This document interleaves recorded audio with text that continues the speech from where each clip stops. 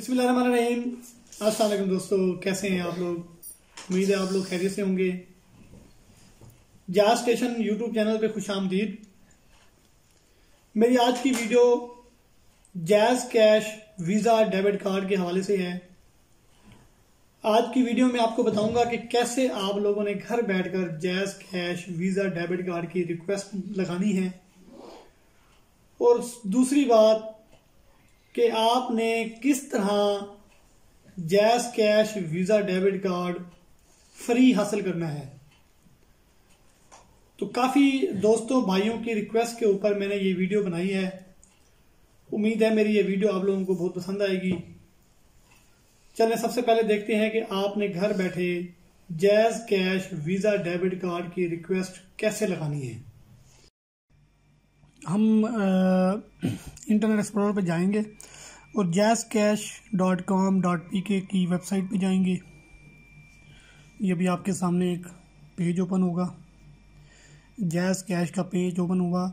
आप देखें top of the window जो है मोबाइल अकाउंट के नाम से एक आइकन है, इस पर क्लिक करेंगे हम और नीचे आपके सामने अभी आपको नज़र आएगा Visa debit card Visa debit card पे हम क्लिक करेंगे। उसके बाद हम विंडो को थोड़ा सा स्क्रॉल डाउन करेंगे। जी। तो यहाँ पे देखें कि request personalize Visa debit card इस पे हम क्लिक करेंगे और हमारे पास ये विंडो ओपन होगी। यहाँ पे हम क्लिक करेंगे आर्डर नाउ पे। और जैसे हम आर्डर नाउ पे क्लिक करेंगे तो हमसे हमारा मोबाइल नंबर और वो सी एन सी नंबर मांगेगा। तो देखिए मैंने अपना मोबाइल नंबर एंटर किया और नीचे अपना C N C number enter किया। ये दोनों काम करने के बाद मैं नेक्स्ट करूँगा। ये थोड़ा सा टाइम लेगा, आपकी पर्सनल जो अकाउंट है उसकी वेरिफिकेशन करेगा और आप, आपकी फर्दर डिटेल आपसे इंक्वायर करेगा। अब ये प्रोसेस में है। तो ये नेक्स्ट पेज पे आ गया जी। नेक्स्ट पेज पे देखें जी, वो उन्होंने आपका नाम वो खुद ब खुद उठा लेगा। उसके बाद आ रहा है जी अल्टरनेट कॉन्टैक्ट नंबर ये ऑप्शनल है। ईमेल एड्रेस ये भी ऑप्शनल है। और नीचे आ रहा है जी who refer for Jazz Cash Visa debit card आपको किस बंदे ने रेफ़र किया? आपने ये एंटर करना है।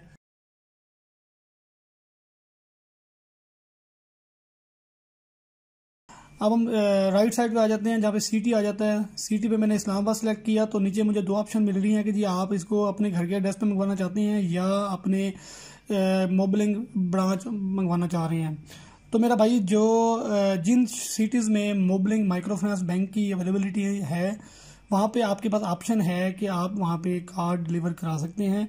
और जिन सिटीज़ में ये ऑप्शन अवेलेबल नहीं है, वहाँ पे आप कार्ड अपने घर के एड्रेस पे ही मंगवाएँगे। जैसा कि मैंने अभी स्क्रीन पे देखें कि भावलपुर सेलेक्ट किया तो भावलपुर में माइक्रो फाइनेंस बैंक नहीं है मोबलिंग का तो यहाँ पे कस्टमर को अपना एड्रेस देना पड़ेगा।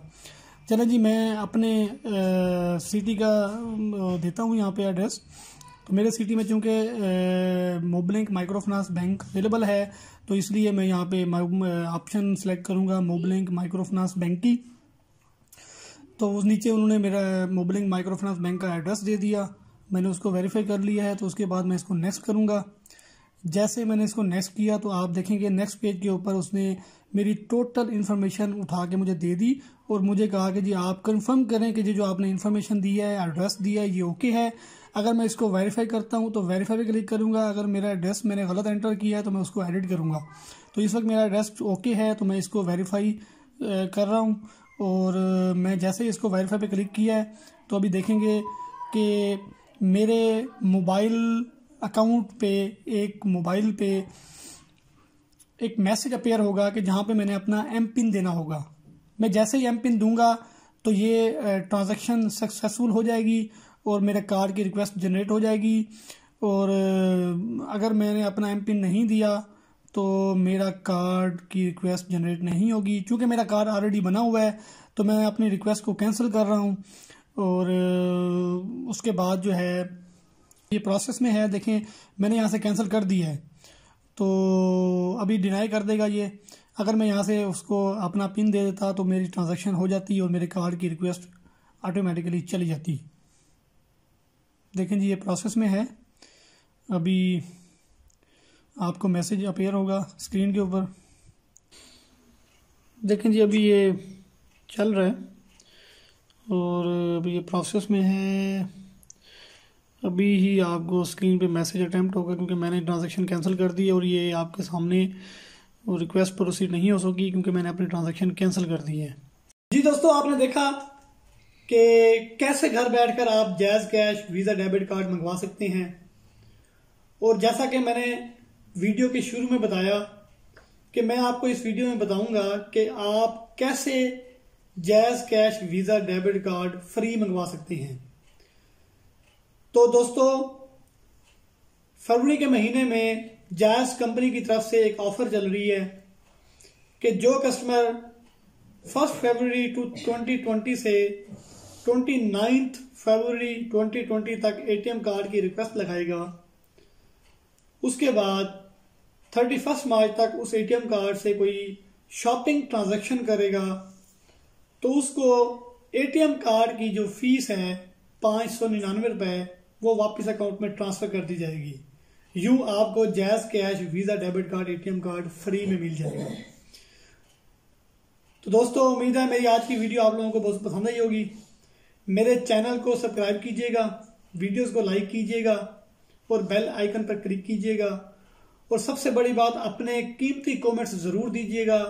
क्योंकि आप जानते हैं कि आपके कमेंट्स की रोशनी में मैं जैज कैश या जैज के हवाले से मालूम आप लोगों तक पहुंचाता हूँ।